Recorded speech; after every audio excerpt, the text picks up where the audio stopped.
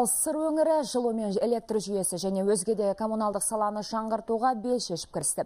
Европалық қайта құру және даму банкі өңірге осы бағытта инвестиция құяды. Қызылорда облысының әкімі Қырымбек Көшербаев банк президенті Сума Чакрабартимен осындай келісімге келді. Бұл туралы Лондондағы тілшіміз Ғалымжан Қараманұлы хабарлады.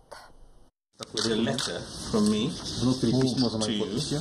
dear Krimbeck, dear friend, Адрес. and it's about our cooperation. Thank you. Вопросом нашего сотрудничества ЕПРР и Сакиман. келіссөздер аясында қызылорда облысы мен банк арасында құны 250 миллиард теңге тұратын 10 жоба келісілген ал жолаушылар тасымалы жүйесін жаңғырту облыс орталығының коммуналдық инфрақұрылымын автоматтандыру және кеңейту сияқты 5 жоба бойынша жұмыс басталып та кетті айта кету керек коммуналдық инфрақұрылымды жаңғырту бойынша жобалар жүзеге асырылса коммуникациялық жүйелер жаңартылады және жылу электр энергиясы сондай ақ судың шығыны азаяды автоматтық басқару арқылы су және қуат қорының пайдалану көлемі бақылауда болады.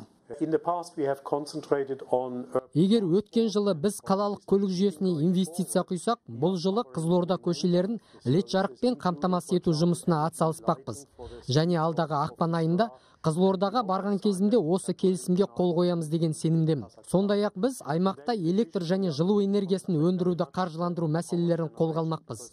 Айта кетер жайт ағымдағы жылдың қазан айында қызылорда облысы мен қаласының әкімдіктері еуропалық қайта құру және даму банкі және оператор компания арасында қатты тұрмыс қалдықтарын жою жобасын жүзеге асыру келісілген болатын.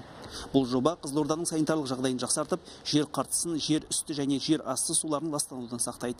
Бір сөзбен айтқанда бұл жоба қаланың экологиялық жағдайын жақсартуға бағытталған және болашақта оның аясында экологиялық таза электр және жылу энергиясын биогаздан өндіру ісі қолға алынбақ. Даму банкісімен біз болашақта 1 миллиард доллардың көлемінде инвестицияларды әсіресе қызылорда облысының оның ішінде облыс орталығы қызылорда қаласының инженерлік инфрақұрылымын дамытуға қаражат алып отырмыз. Бұның бәрі біздің жерлестеріміздің үлкен жаңағы халықаралық стандартқа сәйкес өмір сүруіне және жаңағы ти- тиісті инженерлік инфрақұрылымның болашақта даму жобаларына септігін тигізетініне ешқандай күмәніміз жоқ. Ваш портрет собран из чистого риса. It's made of pure rice.